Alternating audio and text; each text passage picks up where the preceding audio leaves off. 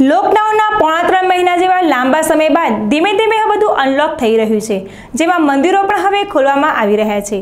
ત્યારે સુપ્રસિદ્ધ યાત્રાધામ વીરપુરના જલારામ મંદિરમાં પણ મંગળદ્વાર સોશિયલ ડિસ્ટન્સ સાથે સરકારી નિયમોને આધીનથી આજથી શ્રદ્ધાળુઓ માટે ખુલ્લા મુકાયા છે. શ્રદ્ધાળુઓને દર્શન માટે રજીસ્ટ્રેશન અને ટોકન સિસ્ટમ શરૂ કરવામાં આવી છે.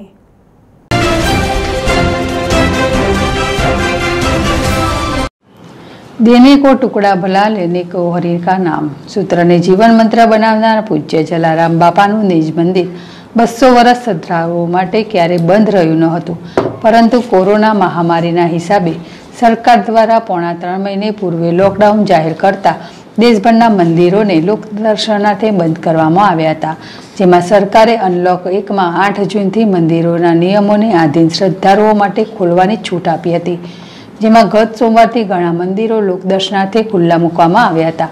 પરંતુ વીરપુર ખાતેના જલારામ મંદિર દ્વારા સરકારી ગાઈડલાઈનનું ચુસ્તપણે પાલન કરવાની તૈયારીઓ કરવા માટે શ્રદ્ધાળુઓ માટે પંદર જૂનથી મંગળ મંદિરના દ્વાર ખોલવાનો નિર્ણય ગાદીપતિ રઘુરામ બાપા દ્વારા કરવામાં આવ્યો હતો, જેમાં અવિરત નામ દેશ વિદેશમાં આસ્થાનું કેન્દ્ર રહેલ સંત શ્રી જલારામ બાપાના દર્શન માટે વીરપુર ગ્રામજનોની લાગણીઓને લઈને જલારામ મંદિરના ગાદીપતિ પૂજ્ય રઘુરામ બાપાના આદેશ મુજબ મંદિરના દ્વાર ખોલવામાં આવ્યા.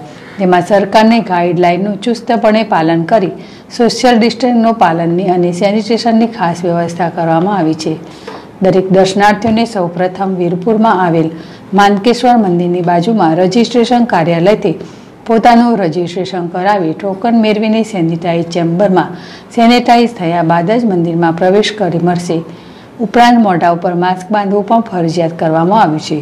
પૂજ્ય બાપાના દર્શન સવારે સાતથી બપોરના એક વાગ્યા સુધી અને બપોરે ત્રણ વાગ્યાથી સાંજના સાત વાગ્યા સુધી થઈ શકશે. અને દસ વર્ષથી નીચેની વયના બાળકો, તેમજ સાઠ વર્ષથી ઉપરની વયના વૃદ્ધો, તેમજ સગર્ભા મહિલાઓને મંદિરમાં પ્રવેશ નહીં મળી શકે. ઉપરાંત કોઈપણ જાતનો પ્રસાદ મંદિરમાં સાથે લઈ જવાની મનાઈ કરવામાં આવી છે.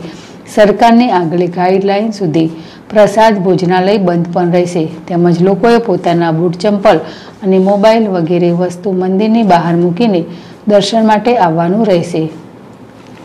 સુરેશ ભાલિયા, જેડેશ ટીવી, જેતપુર.